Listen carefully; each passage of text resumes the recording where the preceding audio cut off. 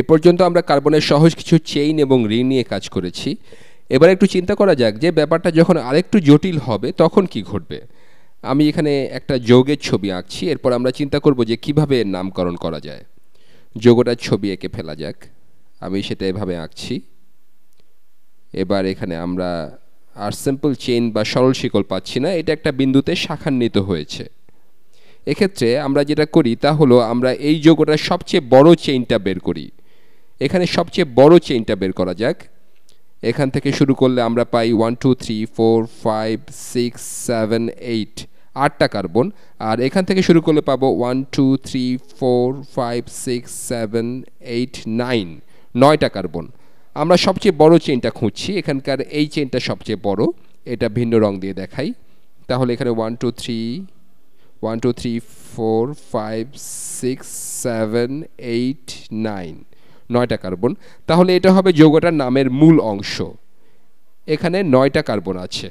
তাই এটা হলো সবচেয়ে বড় চেইন তাহলে সবচেয়ে বড় চেইনটায় নয়টা কার্বন আছে। আপনি এটাকে এই যৌগটার মেরুদণ্ড এবং আমাদের এই নামকরণের মূল অংশ বলতে পারেন। এটার যেহেতু নয়টা কার্বন আছে, তাই আমরা ননেইন নিয়ে কাজ করছি। ননেইন। মনে রাখবেন নাইনের জন্য নন। আর অ্যালকেন নিয়ে কাজ করছি বলে শেষে এইন আসছে। এখানে সবগুলো বন্ধনই একক বন্ধন। এখন এখানকার এই জিনিসটার কি হবে? এই চেইন থেকে যেটা বের হয়ে আছে সেটা আসলে কি? এখানে একটা কার্বন আছে যেটা এই চেনের সাথে যুক্ত, তাই না? এই কার্বনটা চেনের একটা কার্বনের সাথে যুক্ত। আমরা যদি পুরো যৌগটা আঁকতাম তাহলে এখানে একটা কার্বন থাকতো আর এটা তিনটা হাইড্রোজেনের সাথে বন্ধনযুক্ত থাকতো। বিশদভাবে আঁকা হলে এরকম হতো। এখানকার এই জিনিসটা আসলে কি? এখানে একটা কার্বন আছে। আপনারা হয়তো বলতে চাইছেন যে এটা মিথেইন কিন্তু এটা মিথেন নয়, কারণ এটা অন্য কিছুর সাথে যুক্ত আছে। কিন্তু এখানে মিথ প্রেফিক্সটা ব্যবহার করা সঠিক হবে। এখানটায় আপনি মিথ প্রেফিক্সটা ব্যবহার করতে পারেন। এখানে একটা কার্বন আছে, তাই আপনি মিথ প্রেফিক্সটা ব্যবহার করতে চাইতে পারেন। যেহেতু এটা প্রধান চেইন নয়, এটা কিছু একটা সাথে যুক্ত আছে, তাই আমরা এটাকে মিথেন লিখি না। আমরা এটাকে লিখি মিথাইল। আমি সেটা এখানে লিখছি, মিথাইল।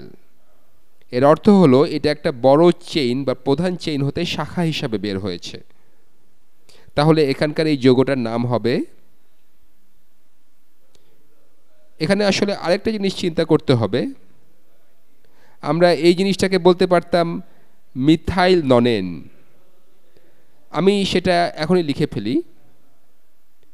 আমরা শুরু থেকে এটাকে বলতে পারতাম মিথাইল ননেইন।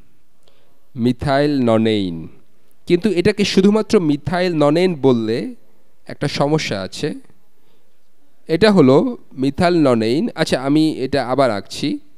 আমি যেটা এঁকেছিলাম সেটা হলো one, two, three, four, five, one, two, three, four, five, six, seven, eight, nine. এটা হলো ননেইন। আর আমি যেটা এঁকেছিলাম, তাতে মিথাইল গ্রুপ তিন নম্বর কার্বনে এখানে যুক্ত ছিল। আমি এটাই এঁকেছিলাম। আমি এটা একই রং দিয়ে দেই, তাহলে আমি এটাই এঁকেছিলাম। কিন্তু এটা যদি এরকম হতো, তবে কি হতো? যদি এখানে one two three four five six seven eight nine নয়টা কার্বন থাকতো, আর এবার যদি মিথাইল গ্রুপটা এখানে না থেকে এখানে থাকতো, তবে আপনি কীভাবে এই দুটোর ভিন্ন নামকরণ করতেন? এই নামকরণ করা হলে মিথাইল গ্রুপটা যদি এখানে এই কার্বনের সাথে যুক্ত থাকতো আর এখানে এই কার্বনের সাথে থাকতো, তবে এদের মধ্যে কোনো পার্থক্য করা যেত না। এক্ষেত্রে যা করা হয় তা হলো সবচেয়ে বড় চেইন বা প্রধান চেইনটায় কার্বনগুলোতে নাম্বারিং করা হয়। আর নাম্বারিংটা এমনভাবে করা হয় যেন মিথাইল গ্রুপটা সবচেয়ে কম নম্বরের কার্বনের সাথে যুক্ত থাকে। এই চেইনটাকে দুইভাবে নাম্বারিং করা সম্ভব। আপনি এখান থেকে শুরু করলে one two three four five six seven সাত নম্বর কার্বনে মিথাইল গ্রুপটা যুক্ত থাকবে। অথবা আপনি চেইনের এই প্রান্ত থেকে শুরু করতে পারেন, তাহলে ওয়ান টু থ্রি তিন নম্বরের কার্বনটার সাথে মিথাইল গ্রুপ যুক্ত থাকবে। তাহলে আপনি এমনভাবে নাম্বারিং করবেন যাতে মিথাইল গ্রুপটা কম নাম্বারের কার্বনের সাথে যুক্ত থাকে। তাহলে আপনি এখান থেকে শুরু করবেন। One two three four five six seven eight nine তাহলে এক্ষেত্রে এটা শুধুমাত্র মিথাইল ননেন হবে না, এখানে একটা অন্তর্ভুক্ত হবে। বিষয়টা পরিষ্কার করা যাক। এটা হবে থ্রি মিথাইল ননেইন কারণ মিথাইল গ্রুপ যাতে একটা কার্বন আছে, যেটা হলো সিএইচ থ্রি সেটা মূল চেইন ননের তিন নম্বর কার্বনে যুক্ত আছে। তাহলে এই যৌগটার নাম হলো থ্রি মিথাইল ননেইন তাহলে আমি এখানে যেটা এঁকেছি, সেটার নাম কি হবে? এক্ষেত্রে মূল চেইনটা হলো nonane one two three four five six seven eight nine এটা নাম্বারিং করার সময় এমনভাবে করতে হবে যেন মিথাইল গ্রুপটা কম নাম্বারের কার্বনের সাথে যুক্ত থাকে। এটা এই প্রান্তের চেয়ে এই প্রান্তে বেশির কাছে আছে। তাহলে ওয়ান টু থ্রি ফোর আমি ম্যাজেন্টা রং দিয়ে ফোর লিখলাম। এরপর নাম্বারিং করছি five six seven eight nine তাহলে এই যোগটার নাম হবে ফোর এরপর মিথাইল গ্রুপটা আসবে, কারণ একটা কার্বন এখানে আছে।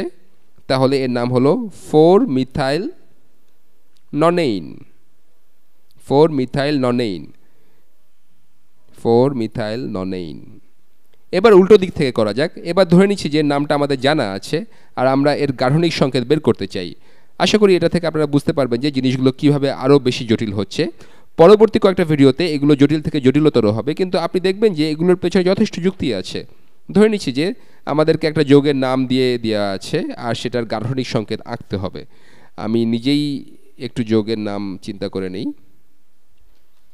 ধরে নিচ্ছি আমাদের একটা যোগের নাম হলো two propyl heptane two propyl heptane তাহলে আমরা এটাকে কীভাবে বুঝব? প্রথমে আপনারা দেখতে পাচ্ছেন যে এটা হলো একটা অ্যালকেইন। তাহলে সবগুলো বন্ধনই হবে একক বন্ধন। হেপটেন হলো মূল যৌগটা, এটা এখানে সবচেয়ে বড় চেন হেপ্ট হলো সেভেনের জন্য ব্যবহৃত প্রেফিক্স। এই ব্যাপারটা পরিষ্কার করা যাক। এটা থেকে আমরা জানতে পারছি যে আমরা যা নিয়ে কাজ করছি, তাতে সব বন্ধনই একক বন্ধন, সব বন্ধনই একক বন্ধন। এইন থেকে আমরা এটা জানছি। এখানে কোনো দ্বিবন্ধন থাকলে এটা ইন হতো, ত্রিবন্ধন থাকলে আইন হতো, আমরা এগুলো ভবিষ্যতে দেখব। এখন সহজ বিষয় থাকা যাক।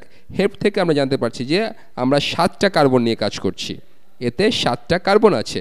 আর এই টু প্রোপিল থেকে কি জানা যায়? প্রোপিল প্রেফিক্সটা কিসের জন্য ব্যবহৃত হয়? মিথাইল হলো ওয়ান, ইথাইল হলো টু, প্রোপাইল হলো থ্রি, বিটিল হলো ফোর। তাহলে প্রোপাইল হলো থ্রি। বা তিনটা কার্বনের গ্রুপ। এটা হলো তিনটা কার্বনের গ্রুপ। আর এটা হেপটেনের দ্বিতীয় কার্বনের সাথে যুক্ত হবে। আমি হেপটেন চেনটা আঁকছি। এতে সাতটা কার্বন আছে। তাহলে one two three four five six seven আর এর দ্বিতীয় কার্বনের সাথে প্রোপিল যুক্ত আছে। আমি অন্য একটা রং নিচ্ছি। আমি কার্বন চেনটায় নাম্বারিং করে নিই। One two three four five six seven আর এখানকার এই দ্বিতীয় কার্বনটায় একটা প্রোপিল গ্রুপ যুক্ত আছে। প্রোপিল গ্রুপটা হলো তিনটা কার্বনের গ্রুপ আমি প্রোপিল গ্রুপটা আঁকি। তাহলে এখানে ওয়ান টু থ্রি তিনটা কার্বনের গ্রুপ আছে আর এটা এখানে দ্বিতীয় কার্বনের সাথে যুক্ত। তাহলে এই টু প্রোপিল হেপটেইন যৌগটা দেখতে এরকম হবে। এবার আরেকটা করা যাক, যেটা আরেকটু কঠিন হবে। এবার ধরে নিচ্ছি যে এখানে আছে এখানে আছে সিক্স বিউটাইল সিক্স বিউটাইল বা বিউটিল সিক্স বিউটিল টেট্রাডিকেইন টেট্রাডিকেইন প্রথম প্রথম এটাকে দেখলে হয়তো অনেক ভীতিকর মনে হতে পারে, কিন্তু এটা ভাঙতে পারলেই বুঝতে পারবেন যে এটা আসলে খুবই যৌক্তিক। এবারও এখানে এইন আছে, তার মানে এখানকার সবগুলো বন্ধনই একক বন্ধন। এই টেট্রা ডেক কি? এই প্রেফিক্সটা কি? ডেক হলো টেন এর সাথে আছে টেট্রা যেটা হলো ফোর তাহলে এটা হলো ফরটিন টেট্রা ডেক হলো ফরটিন এখান থেকে আমরা জানতে পারছি যে এটার কার্বন চেইনে চোদ্দোটা কার্বন থাকবে। কার্বন চেইনটা হবে চোদ্দোটা কার্বনের। এটা আঁকা যাক। তাহলে one two three four five six seven eight nine ten eleven twelve thirteen fourteen চোদ্দোটা কার্বনের চেন এটা নাম্বারিং করি। One two three four five six seven eight nine ten eleven twelve thirteen fourteen এই সিক্স বিউটাইল অংশটা থেকে আমরা জানতে পারছি যে ছয় নম্বর কার্বনের সাথে একটা বিউটাইল গ্রুপ যুক্ত থাকবে। ছয় নম্বর কার্বন হলো এটা, আর বিউটাইল এটা আপনাদের মুখস্থ করা উচিত যে মিথাইল হলো one ethyl two propyl three butyl হলো ফোর তাহলে এটা হলো চারটা কার্বনের গ্রুপ আমি এটা গোলাপি রং দিয়ে লিখি। এটা হলো চারটা কার্বনের গ্রুপ ফোর কার্বনস আপনি যখন এটাকে অ্যালকাইল বলেন, তখন এটা অন্য কোনো কিছুর সাথে যুক্ত থাকে। তাহলে প্রধান কার্বন চেনের ছয় নম্বর কার্বনে চারটা কার্বনের একটা গ্রুপ যুক্ত আছে। আমি এটাকে এভাবে দেখাই এখানে। ওয়ান, টু, থ্রি, ফোর, চারটা কার্বন। এটা হলো বিউটাইল গ্রুপ। আর এটা প্রধান চেনের ছয় নম্বর কার্বনের সাথে এখানে যুক্ত। তাহলে এই যোগটা দেখতে এরকম হবে। এবার আমি আপনাদেরকে একটা প্রশ্ন করছি। আপনি কি কখনো নাইন বিউটাইল টেট্রা ডিকেইন পেতে পারেন? বা নাইন বিউটাইল টেট্রা ডিকেইন থাকা কি সম্ভব? আমি এই জিনিসটা এভাবে আবার আঁকছি। তাহলে নাইন বিউটাইল টেট্রা ডিকেইন এক্ষেত্রে বিউটাইলটা এখানে হবে। One two three four one two three four nine butyl tetradecane পাওয়া কি সম্ভব? এখানে যা লিখলাম তা কি আসলে পাওয়া সম্ভব? আপনি হয়তো বলবেন হ্যাঁ অবশ্যই, আপনি তো এইমাত্র সেটা এঁকেছেন। আপনি কখনো এটা পেতে পারেন না, কারণ যোগটা যদি এরকম হয়, তবে এটাকে অন্যভাবে নাম্বারিং করতে হবে।